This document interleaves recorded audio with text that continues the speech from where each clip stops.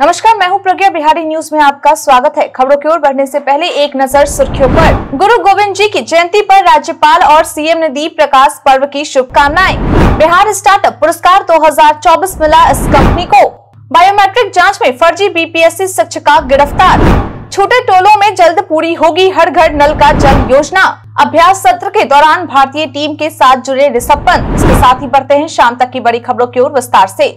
गुरु गोविंद जी की जयंती पर राज्यपाल और सीएम ने दी प्रकाश पर्व की शुभकामनाएँ। आज यानी कि 17 जनवरी को श्री गुरु गोविंद सिंह जी की जयंती है। ऐसे में आज बिहार के राज्यपाल राजेंद्र विश्वनाथ आर्लेकर और बिहार के मुख्यमंत्री नीतीश कुमार के द्वारा बिहार और देशवासियों, विशेषकर सिख समुदाय के लोगों को प्रकाश पर्व की शुभकामनाएँ दी गई है। बता दें कि राज्यपाल के द्वारा कहा गया है कि श्री गुरु गोविंद सिंह जी ने धर्म, संस्कृति और मानवता की रक्षा के लिए अपना सर्वस्व बलिदान कर दिया। गुरु गोविंद सिंह जी के जीवन से हमें प्रेम, एकता और भाईचारा की भावना के साथ सच्चाई की राह पर चलने की प्रेरणा मिलती है।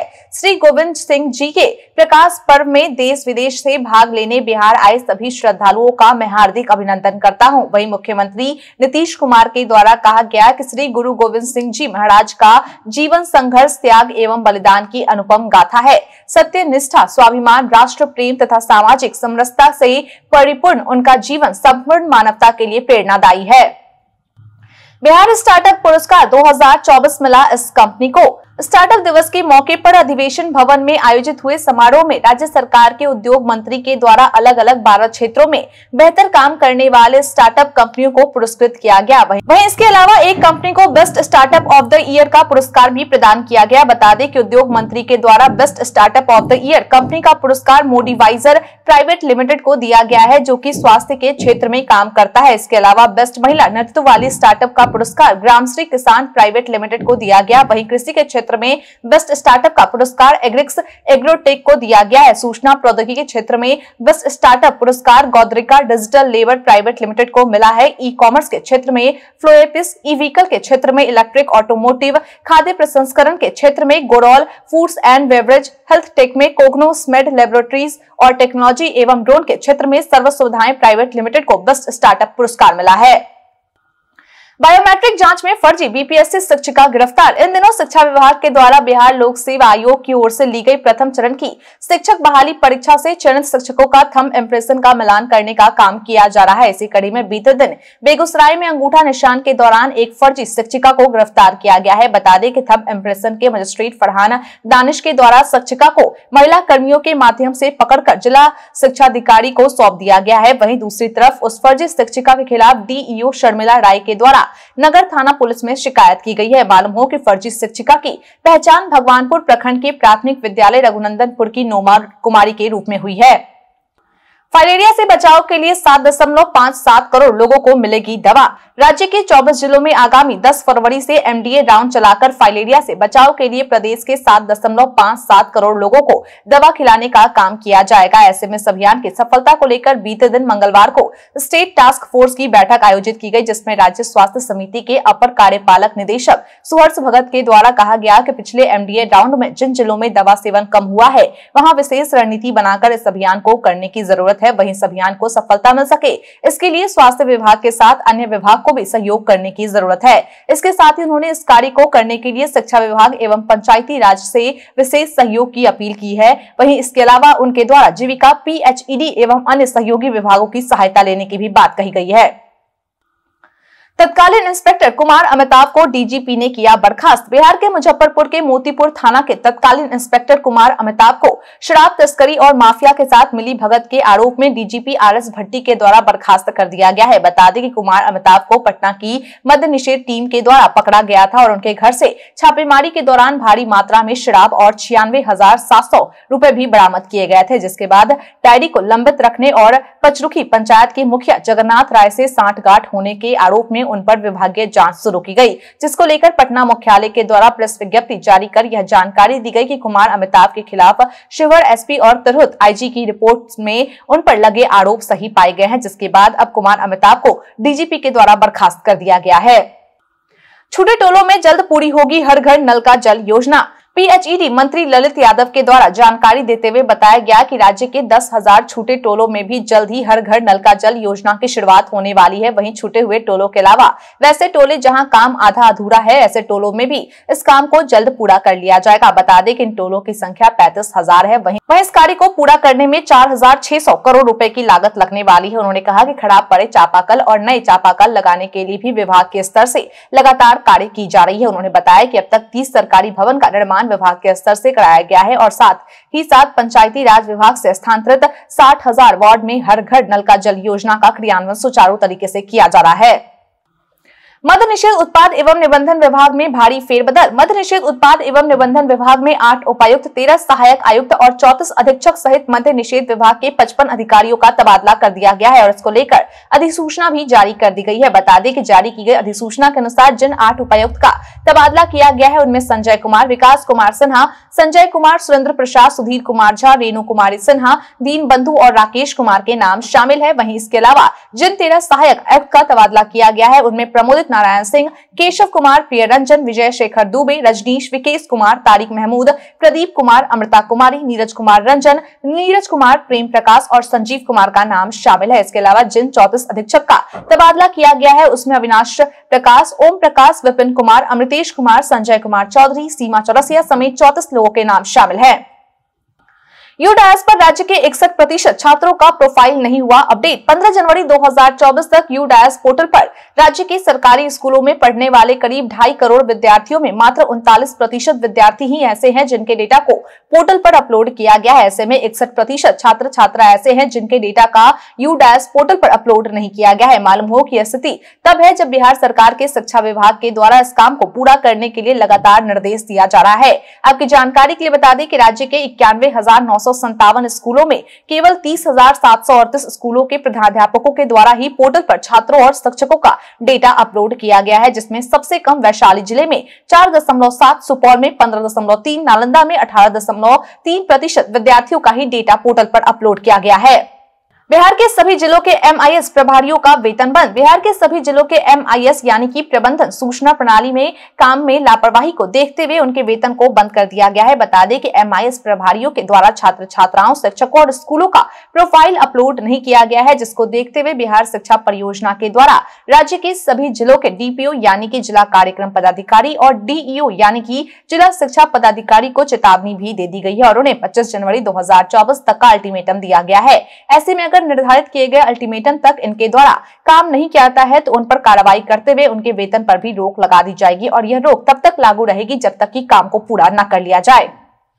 सुशील कुमार मोदी का महागठबंधन सरकार पर हमला, बिहार के पूर्व उप मुख्यमंत्री और राज्यसभा सांसद सुशील कुमार मोदी के द्वारा एक बार फिर से बिहार की महागठबंधन सरकार पर हमला बोला गया है। उन्होंने कहा कि जेडीयू और आरजेडी के बीच सब कुछ ठीक नहीं चल रहा, डील की कील चुभने लगी है। नीतीश कुमार अठहत्तर विधायकों की पार्टी, आरजेडी की कृपा पर मुख्यमंत्री है। लालू प्रसाद जब चाहे उन्हें हटाकर अपने बेटे को मुख्यमंत्री बना सकते हैं, दोनों के बीच डील भी यही हुई है। उन्होंने कहा कि इस बार मकर संक्रांति पर नीतीश कुमार राबड़ी आवाज़ गए, लेकिन वहाँ केवल सात मिनट रुके। लालू प्रसाद ने भी उनसे दूरी बनाई और दही का टीका नहीं लगाया। कार्यकर्ताओं का मनोबल न टूटे इसलिए जेडीयू के मंत्री नीतीश कुमार को बिहार का भविष्य बता रहे हैं, जबकि खुद मुख्यमंत्री ने बिहार का भविष्य तेजस्वी यादव को बता दिया है। भाई वीरेंद्र के सीएम नीतीश को लेकर दिए बयान पर अशोक चौधरी का जवाब। आरजेडी विधायक भाई वीरेंद्र के द्वारा बिहार के मुख्यमंत्री नीतीश कुमार को लेकर दिए बयान कि उनके उन्यासी विधायक है तो इस लिहाज से वे बड़े भाई हुए। नीतीश कुमार, लालू यादव के आशीर्वाद से ही मुख्यमंत्री है। वहीं अब इस बयान पर भवन निर्माण मंत्री अशोक चौधरी के द्वारा पत्रकारों से बात करते हुए अपना जवाब दिया गया है। उन्होंने कहा की ये गलत बात है। भाई वीरेंद्र की भाषा हम लोगों के गले से कतई नीचे नहीं उतर रहा है। हर पार्टी अपनी सुविधा को देखकर गठबंधन करता है, अपनी विचारधारा धारा को देखकर करता है। उन्होंने कहा कि मुख्यमंत्री नीतीश कुमार ने 18 वर्षों में किसी जाति या किसी धर्म की राजनीति नहीं की है। नीतीश कुमार ने बिहार में विकास की राजनीति की है। एक बिहार कभी छब्बीस हज़ार करोड़ का था, जो आज दो लाख अड़सठ हज़ार करोड़ का हो गया है। ये हमारे नेता नीतीश कुमार का कमाल है। लालू यादव ने प्राण प्रतिष्ठा में शामिल होने और सीट बंटवारा को लेकर किया सब कुछ क्लियर। 22 जनवरी को अयोध्या में रामलला की प्राण प्रतिष्ठा होने वाली है, जिसमें शामिल होने को लेकर राजा सुप्रीमो लालू प्रसाद यादव को भी निमंत्रण मिला है। वहीं अब लालू प्रसाद यादव के द्वारा पत्रकारों से पूछे गए सवाल कि वो प्राण प्रतिष्ठा में शामिल होंगे या नहीं, इस पर जवाब देते हुए उन्होंने कहा कि साफ़ साफ़ समझ लीजिए, नहीं जाएँगे। वहीं इसके अलावा जब पत्रकारों के द्वारा लालू यादव से इंडिया गठबंधन में सीट बंटवारे को लेकर सवाल पूछा गया तो उन्होंने कहा कि इतना जल्दी सब कुछ थोड़े ना हो जाता है।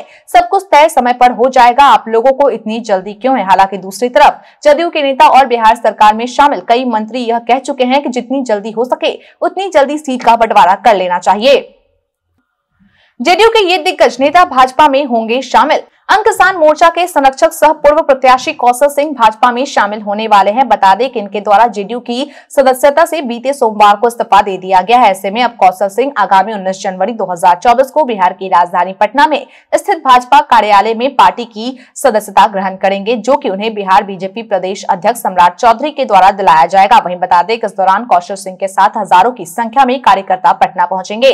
कौशल सिंह के द्वारा दी गई जानकारी के अनुसार वो और उनके कार्यकर्ता घने कोहरे की वजह से 18 जनवरी 2024 को ही दोपहर में ही 200 की संख्या में छोटी गाड़ियों और दर्जनों की संख्या में बड़ी गाड़ियों के साथ पटना पहुँच जाएँगे। अभ्यास सत्र के दौरान भारतीय टीम के साथ जुड़े ऋषभ पंत आज यानी कि 17 जनवरी को भारत और अफ़गानिस्तान के बीच तीन मैचों की टी सीरीज़ का आखिरी और तीसरा मुकाबला बेंगलुरु में शाम सात बजे से खेला जाने वाला है। लेकिन इससे पहले अभ्यास सत्र के दौरान भारतीय टीम के साथ ऋषभ पंत भी जुड़े। इस दौरान ऋषभ पंत के द्वारा भी नेट्स प्रैक्टिस की गई और उन्होंने रोहित शर्मा और विराट कोहली से भी मुलाकात की। बता दें कि ऋषभ पंत और विराट कोहली के बीच काफ़ी देर तक बातचीत हुई और खूब हँसी मज़ाक किया। आपकी जानकारी के लिए बता दें कि ऋषभ पंत वर्तमान में बेंगलुरु के एनसीए एनसीए में रिहैब पर है। दरअसल ऋषभ पंत सड़क दुर्घटना में बुरी तरह से घायल हो गए थे, जिसके बाद उन्होंने क्रिकेट से दूरी बना ली थी। वही अब उन्होंने अपनी प्रैक्टिस शुरू कर दी है। जानिए आज बिहार में क्या है पेट्रोल डीजल के रेट। बिहार में आज यानी बुधवार को पेट्रोल डीजल के रेट जारी किए गए। इसके बाद राजधानी पटना में आज पेट्रोल एक सौ और डीजल चौरानवे दशमलव शून्य चार रूपए प्रति लीटर में मिल रहा है। मुजफ्फरपुर में पेट्रोल एक सौ आठ दशमलव शून्य एक और डीजल चौरानवे दशमलव सात तीन रूपए प्रति लीटर मिल रहा वहीं पूर्णिया में पेट्रोल की कीमत एक सौ आठ दशमलव सात आठ और डीजल पंचानवे दशमलव चार पाँच रूपए प्रति लीटर है। भागलपुर में पेट्रोल की कीमत एक सौ आठ दशमलव पाँच तीन रूपए और डीजल कीमत पंचानवे दशमलव दो दो रूपए प्रति लीटर निर्धारित की गई है। इसके साथ ही गया में पेट्रोल की कीमत एक सौ आठ दशमलव आठ पाँच रूपए और डीजल कीमत पंचानवे दशमलव पाँच पाँच रुपए प्रति लीटर है। बता दें कि बिहार में पेट्रोल का रेट सबसे ज़्यादा किशनगंज में है, जहाँ पेट्रोल एक सौ नौ दशमलव छह शून्य रुपए प्रति लीटर और डीजल छियानवे दशमलव दो तीन रुपए प्रति लीटर की दर से मिल रहा है। अब बढ़ते हैं आज के पाँच सवाल की ओर। हमारा पहला सवाल है ई व्हीकल के क्षेत्र में बेस्ट स्टार्टअप पुरस्कार किसे मिला है? Option A, electric automotive. Option B, फ्लोएपिस। Option C, Gautrika digital labour private limited. Option D, इनमें से सभी।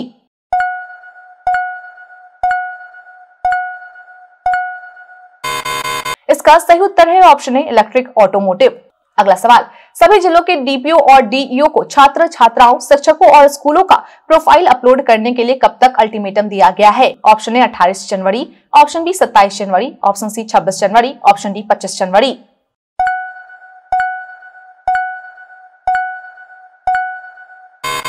इसका सही उत्तर है ऑप्शन डी, पच्चीस जनवरी। अगला सवाल सुपौल से कितने प्रतिशत छात्रों का डेटा यू डायस पोर्टल पर अपलोड हुआ है? ऑप्शन ए चार दशमलव सात ऑप्शन बी पंद्रह दशमलव तीन ऑप्शन सी अठारह दशमलव तीन ऑप्शन डी इनमें से कोई नहीं।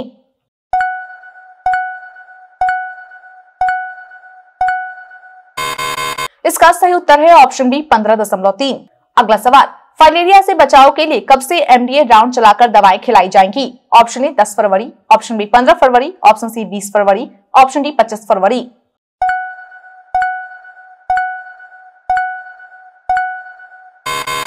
इसका सही उत्तर है ऑप्शन ए, दस फरवरी।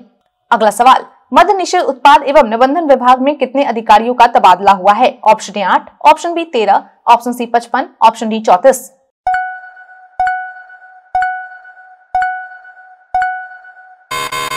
इसका सही उत्तर है ऑप्शन सी, पचपन।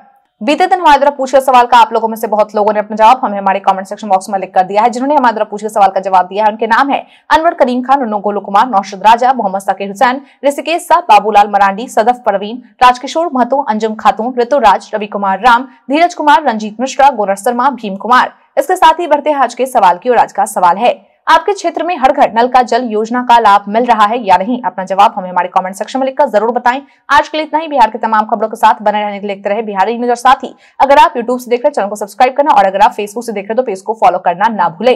धन्यवाद।